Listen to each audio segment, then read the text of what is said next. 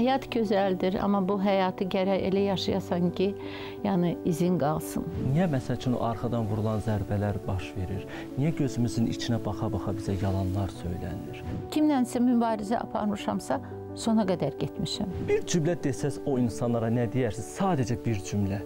Get həyatını yaşa, öz bildiyin kimi yaşa yenə.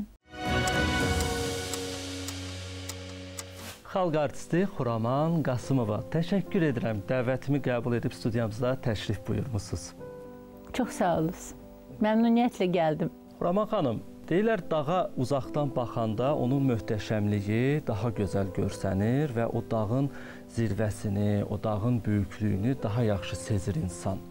Bir də var, zirvənin özündə olmaq, yüksəkdə dayanmaq, yəni təmsil etdiyin, çalışdığın, fəaliyyət göstərdiyin sahədə zirvəyə çevrilmək, məktəb olmaq və o zirvədən bu dünyaya, bu cəmiyyətə, bu həyata biraz da elə özünə baxmaq. Necə duyğulardır? Gözəl bir duyğulardır, amma o zirvəyə çatana qədər o qədər ə, insan əlləşir, ə, çalışır, vaxt sərf edir, Yəni əgər bu mənə aiddirsə bu sual, təbii ki, zəhmət. Əlbəttə sizə aid. təbii ki, zəhmət böyük idi. Düşünürsüz ki, biz artıq mən o zirvəyə çatmışam. Bu yol heç də asan olmayıb. Heç. Bu yolu keçərək həyatı daha dərin dərk edirsən, yüksəkliklərə doğru gedərək nəhayət yuxarıdan aşağı baxırsan, siz demişkən. Amma mən e, xəssiyyətçi belə deyiləm. Yuxarıdan aşağı baxan deyiləm. Heç olub özünüzə, məhz özünüzə yuxarıdan aşağı baxasınız, yəni bəyənməyəsiz. Həmişə olub. Etiraz edəsiz özünüzə. Çox tez-tez olub ki, mən hər zaman narazı olmuşam özümdən daha doğrusu razı olmamışam. Nədən narazı olmusunuz? Niyə narazı olmusunuz? Bütün hərəkətləri, bütün işlərimi ölçərək, biçərək mən deyəsən nəyisə qazana bilmişəm. Gərək insan hər addımını düşünsün. Nə edəcək, nəyə doğru gedir, niyə o zirvəyə qalxmaq istəyir. Ümumiyyətlə mən heç zirvə barəsində düşünmürdüm.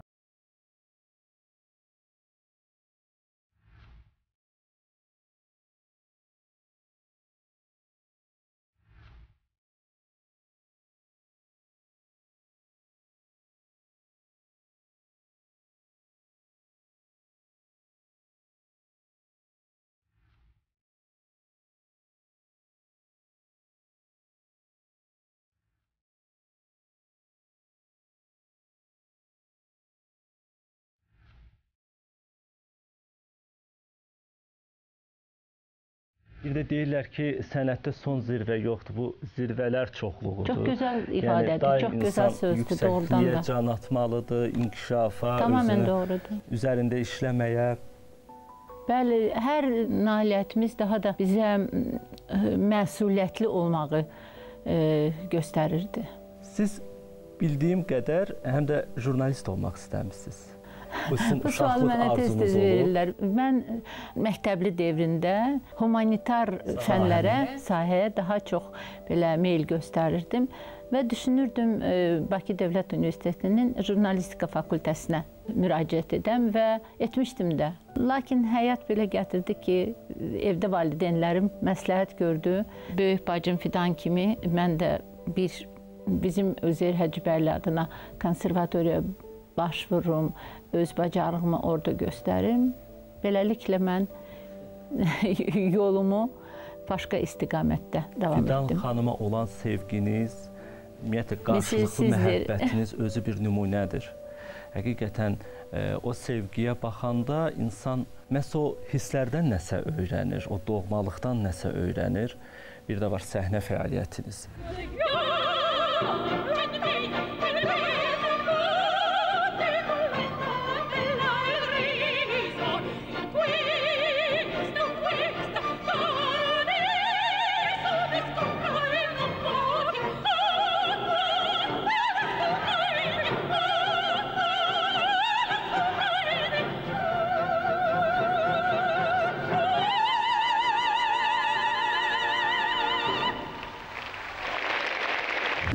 Jurnalist olsaydınız Rahman xanım, hansı sualı özünüzə ünvanlayardınız? Ümumiyyətlə olubmu ki, bir jurnalist kimi özünüzlə söhbət edəsiz? Əlbəttə mən ə, hər gün hər addımı ə, və ya hər hansı bir işə başlamadan öncə sual verirəm özümə. Bu suallar ə, demək olar ki, hər hərəkətimdə, hər addımımda yəni arxamca gedir. Bəs o cavablar necə? O cavablar mənə aiddir də. yəni qane edir sizi yoxsa Yəqin ki, elədiyim işlər, e, düşündüyüm fikirlər e, həyata keçirsə, e, həmin günü mən doğrudan da düşündüyümü edə bildimsə, deməli hər şey yolundadır. Mən sizinlə barədə düşünəndə təbii ki, o səhnədəki parlaq obrazınız, ifalarınız, bacınızla olan o qarşılıqlı hissləriniz, məhəbbətiniz, doğmaqlığınız düşür və bir də ulu öndərin sizə olan o hədsiz sevgisi, qayğısı, sizə verdiyi o böyük qiymət, səhnədə o hər ikinizi bağrına sıxmağı, sizə qollarını açmağı, o anları dəfələrlə danışmısınız, bölüşmüsünüz o doğmalığı və hər dəfə də bir başqa gözəl duyğular keçirirsiniz. Bunu sezməmək mümkün deyil. İlk növbədə elə sizin sualınız tam yerinə düşür. Bu il Heydər Əliyev ilidir. Onun 100 illiyi ilə bağlıdır və biz Fidan xanım, mən e, çox ailəm, çox belə necə deyirlər, xoşbaxt insanlarıq ki, biz bu dahi şəxsiyyəti təbii ki, görmüşük e, onunla ünsiyyətdə olmuşuq, onunla saatlarla söhbətlərimiz olub, eyni zamanda sənətimizə ilk addımlarımızdan çox böyük maraq göstərərək dəyər də verir. Belə bir insan idi ki, ölkənin inkişafında, ölkənin tanınmasında mədəniyyət sahəsinə böyük bir qayğı, böyük bir diqqət verərdi. Nə gözəl ki, biz həmin o dövrdə öz yaradıcılığımızı başlamışdıq və uzun illər boyu Heydər Əliyevin qanadlarının bir sağ, bir sol qanadlarının altında böyüyərək siz demişkən o yüksək səviyyəyə gəlib çata bildik. Fidan xanım və Xuraman xanım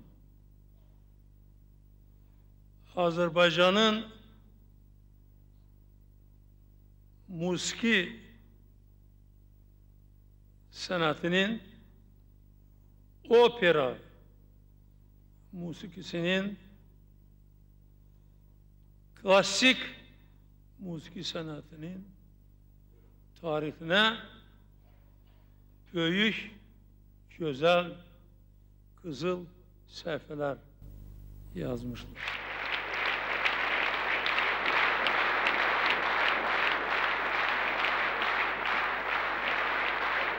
Şükürlər olsun ki, onun siyasətinin davamçısı cənab İlham Əliyev də bizi diqqətsiz qoymur. nə o, nə Mehriban xanım, Allah onlara can sağlığı versin. Bütün işlər Nə gözəl ki, bu sevgi, qayğı bu gün də davam edir. Uğurlar versin. Diqqət mərkəzindəyik bu günə qədər. Addımlayırıq, irəliləyirik, bəzən büdrüyürük, bəzən yıxılırıq. Bəzən kimsə bizə kömək edir. Amma insanın ən yaxın və yaxşı dostu özüdür axı. Bu dostluğunuzla, yəni özünüzlə ünsiyyətiniz necədir? Bacarırsınız ürəyinizlə? Bəli, bacarıram. Məsafədən başqa cürə görünür, amma mən çalışıram. Ümumiyyətlə təbiətçi, sadə bir insanam. Eyni zamanda çox gözəl ailədə böyümüş e, və ailəmin, valideynlərimin bizə göstərdiyi yol, baxmayaraq ki, uşaqlıqda sonuncu evlad olaraq ailəmizdə üç evlad idik. Yəni məni əlbəttə ki, ərkəon böyüdürdülər. Ələxüsusdə ki, atam. Anam daha ciddi idi. Amma bu yaşa gəlib çatmışam e, və həyat təcrübəmi toplayaraq daha təmkinli olmuşam harda nə demək, həyat mənə göstərib çox şeyləri.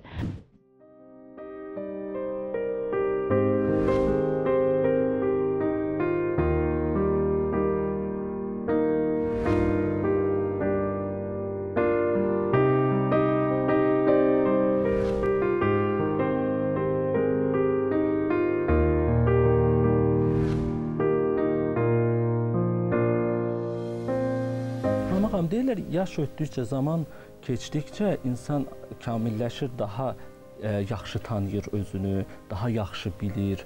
Ə, elə səhvlərini də, düzlərini də, mənfisini də, müsbətini də. Mənfiləriniz sizcə sizə mane olacaq qədərdir? Yox, onlar mənə mane etməz. Yox, o qədər deyil.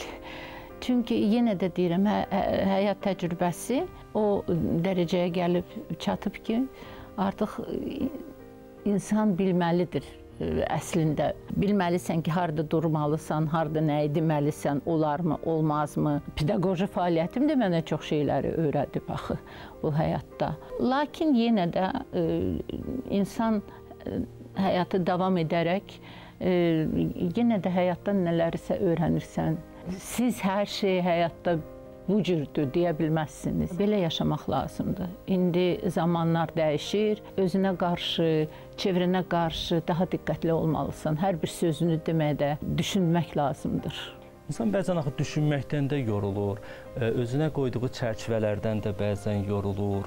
O baxır hansı daha, insan, yox, o baxır hansı insan.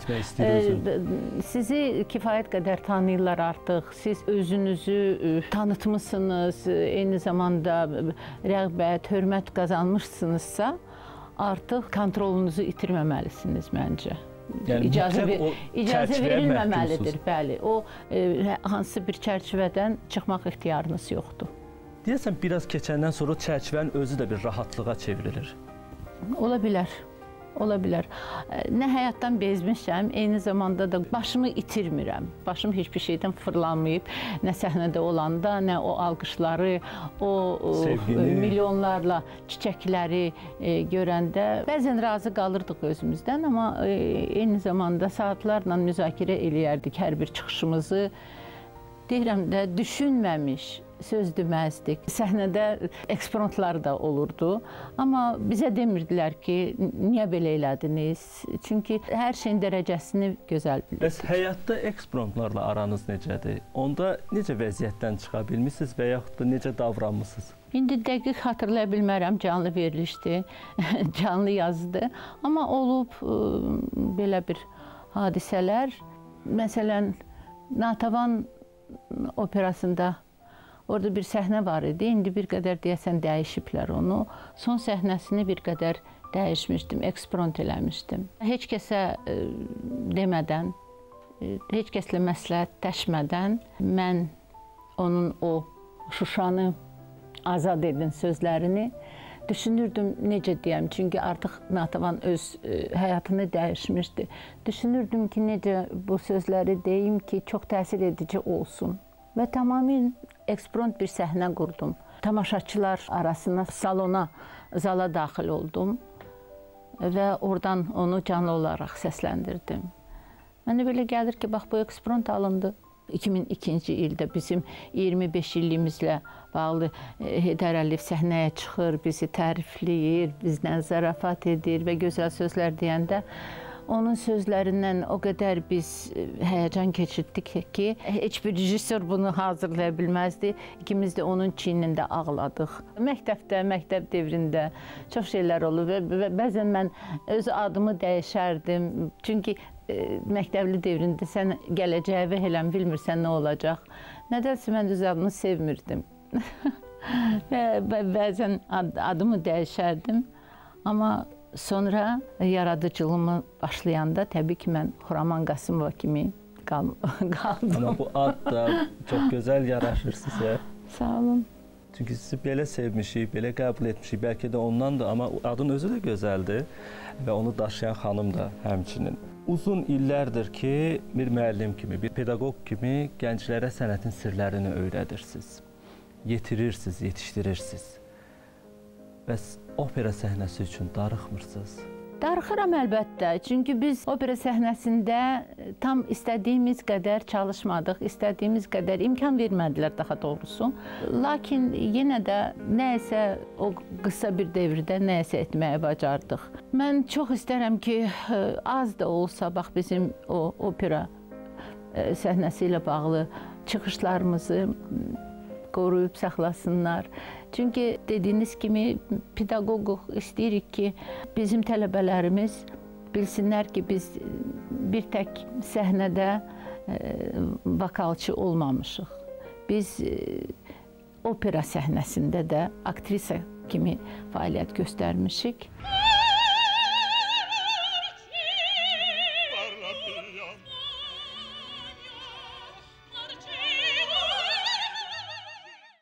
ki hər zaman bizim yanımızda hər hansı bir operator gedəydi və yaxud rejissor olaydı, onları hamısını çəkəydi. Bizim qastrol səfərlərimizdə olan o opera əsərlərini ki, mən indi doğrudan da tələbələrimlə o xatirələrimi bölüşürəm. Amma onlar izləyə bilmirlər. Danışdıqca bir daha özüm üçün təsdiqləyirəm və ümid edirəm ki, yanılmıram. Mübariz və dözümlü, eyni zamanda güclü xanım. Bəli, mən bu mübariz xanım mənə adlandırmaq olar, bəli. Nikbinlə mübarizəm, bəli. Hər hansı bir məqsədim varsa həyatda ona əgər mənə maneçilik göstərməsələr, təpki göstərməsələr, təbii ki, mən o ona məqsədə doğru getmək çox gözəl bir şeydir. İnanmaq lazımdır. Allah görür bunu. Ona inanmaq lazımdır. Ona inanmaq lazımdır. Bəs ən böyük qorxunuz nədir Xuraman xanım? Ən böyük qorxum haçansa əzizlərimlə görüşməmək daha. Bax bu anı yaşamaq çox ağır olur. Belə anlarla rastlaşmaq heç istəməzdim. Amma insan sanki düşünəndə də... Amma bu həyatdır əlbəttə ki. Biz hamımız, hamımız bu cizgini keçirik, bu yolu görürük.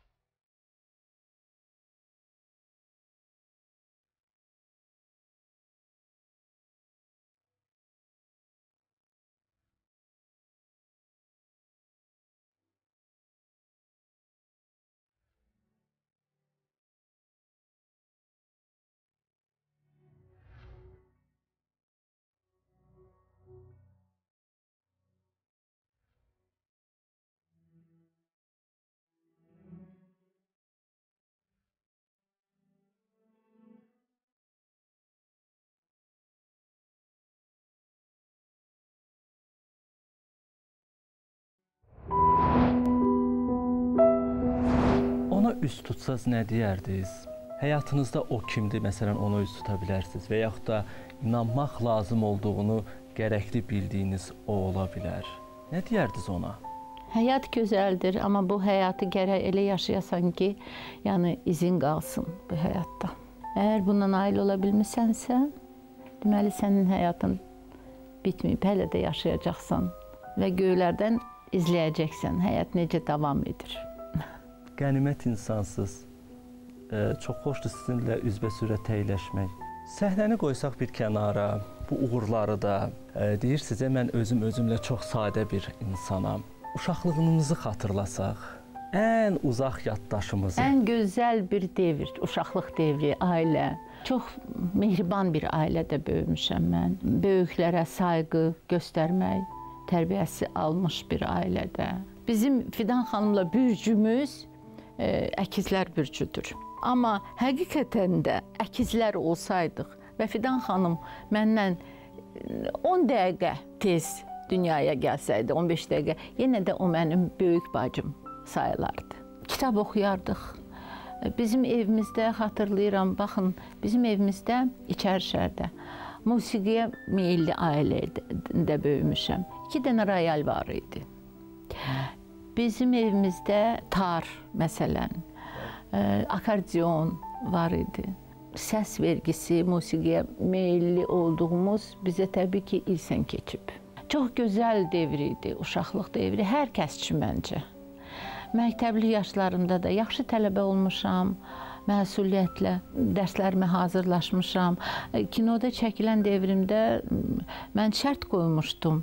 Çünki məktəbli illərim idi. Şərt qoymuşdum ki, baş rolda çəkməyimə baxmayaraq mən məktəbdən ayrılmayacağam. Amma bilirdim ki, e, çəkiliş, kinoda çəkilmək e, aktyordan zaman tələb eləyir, böyük çalışma tələb eləyir. Lakin mən məktəbdən ayrılmaq istəmirdim. Həm məktəbə gedirdim, həm də ki çəkilişlərdə olurdum. Həyatım maraqlıdır, amma həyatın ağır zamanları da olur. Bunları da keçməlidir insan. Bununla möhkəmləşir, həyatın dəyərini daha gözəl bilir. Amma həyat gözəldir.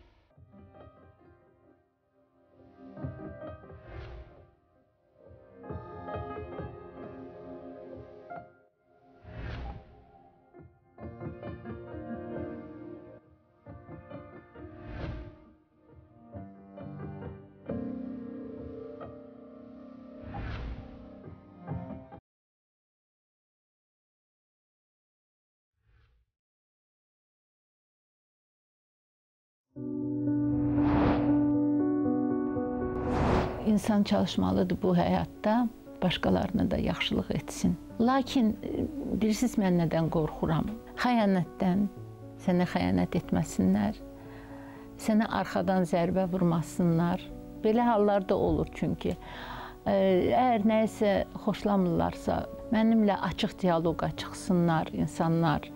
Necə mən açığam insanlara doğru. Onlar da mənimlə açıq olsunlar. Gözümə baxa-baxa hiss etdiklərini desinlər. Mən məsələn sizə deyərəm. Əgər nəsə hiss sualını vermisiniz heç? Özünüzə də olsun, elə qarşınızdakı insana da. Axı niyə? Niyə məsəl üçün arxadan vurulan zərbələr baş verir? Niyə gözümüzün içinə baxa-baxa bizə yalanlar söylənir? Nədir axı bu ədavətin səbəbi, məqsədi, məramı nədir? Yəni bu dünya hamımıza yetəcək qədərdir axı. Mənə belə gəlir ki, o insanlar ki, çalışır sənə belə qəsdənmi bilim, nə hisslər keçirirlər onlar bu dəqiqələrdə o xəyanət edəndə mən bilmirəm. O insanın e, çox cəhətlərindən asılıdır. Tərbiyəsimi, səviyyəsimi, daxili e, e, zəifliyimi bilmirəm. Məni sıxmaq istəyirsən, əzmək istəyirsən, üzümə dəginən bunu arxada eləmə. Bu zaten özünə güvənməyən insanlar bunu edə bilər. Mənə belə gəlir bu şeyləri belə tərbiyə almışıq ki, açıq söyləməyə, duyğularımı açıq söyləməyə. Sevirsənsə dinən sevirəm. Nifrət eləyirəmsə dinən. Amma belə olmayıb ki, məsələn, nifrət eləyim. Çünki mən özümə inanıram. Sevməyə bilərəm, bəli. Bu adamdan xoşum gəlmirsə, mən sadəcə kənarlaşaram. Salamımı verim, keçərəm. Amma belə kimlənsə mübarizə aparmışamsa, sona qədər getmişəm. Xurram ağam, o kənarlaşmaq istədiyiniz və hətta kənarlaşdığınız insanlar ki var, hə? Deyirsiniz, xoşuma gəlmirsə və yaxud da mən anlayıram ki, artıq bu mənim adamım deyil. Getginən, yolu davam etginən, nəsə itirmisən, artıq bu getdi. Bu keçmişdə qaldı. Və keçmişə dönmək olmaz. Sizə pislik edən, arxadan zərbə vuran, üzünüzə gülüb yalan söyləyənlər var ha. Onları bağışlaya bilirsiniz, yoxsa heç bu barədə Əlbəttə də düşünmürsünüz? Hər kəsi bağışlamaq lazımdır. Onlar da öz həyatlarını bildikləri kimi davam etsinlər. Sakit yaşaya bilirlərsə eləsinlər, amma mənə belə gəlir ki, sən kiməsə hər hansı bir zərbə vurmusan, incitmisənsə, kimin dalınca danışmısansa və yaxud yalan söyləmisənsə, e, bunu dərk etsən, xoşbəxtsən. Yox, dərk etməsən, heç demək də lazım deyil. Sənə bunu anlatmaq da lazım deyil, dəyməz. Çünki o özü gərək bunu düşünsün. Bir cümlə desəz o insanlara nə deyərsiniz? Sadəcə bir cümlə. Get həyatını yaşa, öz bildiyin kimi yaşa yenə. Çünki onu dəyişmək artıq mümkün olmayacaq. Onun e, fəlsəfəsi belədir. Onun daxili aləmi zəifdir. Hardasa təbii ki, başa düşsə, dərk etsə, geri dönsə, özünə gəlsə nə gözəl. Vaxtında belə əzilməyəcək. Mən istəyirəm ki, insan dursun, o zamanda dursun ki, bəli, mən bunu etdim. Gedim səhvimi düzəldim, yanlışımı düzəldim. Bunu dərk etsə bilirsiniz nə qədər asanlaşar, nə qədər həyat onun üçün bambaşqa olar. Bir hadisə danışım. Bizim ata bağımızda Şüvəlanda qohumlarımızdan bir e, Daim qızı rəhmətə getmişdi. 9 yaşında qız. Amma çox sevirdi öz bağçalarında gül əkməyə, ağac əkməyə. Bir iydə ağacı əkmişdi. 9 yaşında bu qız həyatını dəyişir. Mən xatırlayıram ki, hər zaman mən atam çox bağımızı sevərdi. Hər zaman atam ora getdikcə o əkdiyi iydə tumunu e, sulayardı, sulayardı. İndi, indi bilirsiniz o ağac necə böyüyüb. Bu həmin o qızın buraxdığı izdir. Deməli o, o qızın ruhu şaddır, bacımın və atamın da ruhu şaddır. Gələr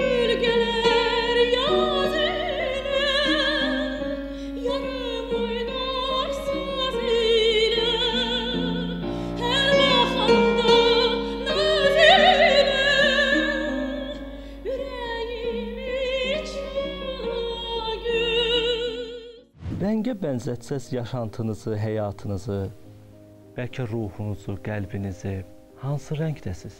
Hansı rəngdəyəm?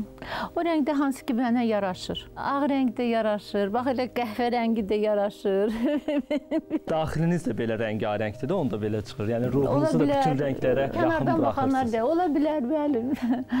Rəngarəngidir. Pəmbə rəngi, səma rəngi, Təbiət rəngi. təbiət rəngləri, bəli. Hər bir rəngin öz e, gözəlliyi var.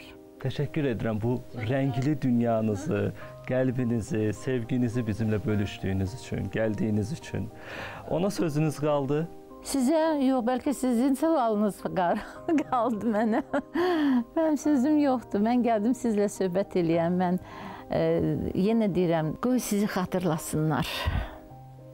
Bəli, elə insanlar var ki, belə necə gəldilər, necə getdilər, heç kəs bilmir. Amma hər hansı bir peşə ilə məşğul olsaydım, mən e, açıq sizə deyim, məqsədə doğru, Fidan xanım da məqsədə doğru gedən insanlar. Biz belə tərbiyə almışıq. Mühəndis də olsaydım, e, bəlkə sex rəhbəri olardım. Zavod direktoru. Bilmirəm. Yəni öndə olardınız. Öndə olardım, bəli. Hamımız zamana tabeyik və çox təəssüf hissi ilə sağollaşıram sizdən, çünki doymadım bu söhbətdən. Minnətdaram səmimiyyətiniz üçün, varlığınız üçün. Sağ olun. Çox gənc yaşlarımdan, heləm nə bilim 13-15 yaşlarından bura gəlirəm. Çoxlarını çox gözəl tanıyıram, dostluq edirəm. E, təşəkkür bildirirəm ki, məni dəvət etdiniz. Kim olursan ol, hansı sahə ilə məşğul olursan ol, içində sevgi və əzmkarlıq varsa, mütləq uğura nail olacaqsan və ən gözəl uğur qazandığın bu müvəffəqiyyətə layiq olmaqdır. Sevgi, əzmkarlıq, güc, özünə inam, dünənini xatırlayıb ona söykənmək, bugününü elə yaşamaq ki, sabahın aydın səmalarını sezə bilmək. Həyatın mənası da budur, mübarizə. Amma bu mübarizədə hansı ürəklə döyüşə girirsən, necə davranırsan özünə və qarşındakına. Bax, bu da sənin kimliyini ortaya qoyur. Görüşmək ümidi ilə.